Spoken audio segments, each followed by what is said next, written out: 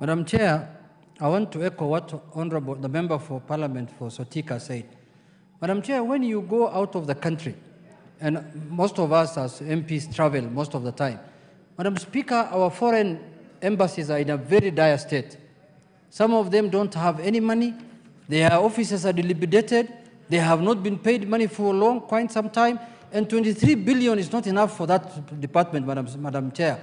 Madam Chair, in the supplementary budget, I want to urge the chairman of the budget committee to look into this matter critically and allocate this uh, depart state department more money. If there's a state department that is suffering, this one.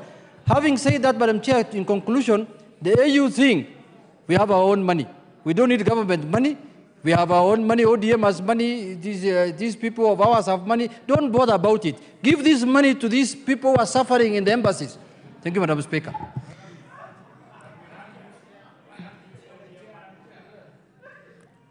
Member for Kiharu.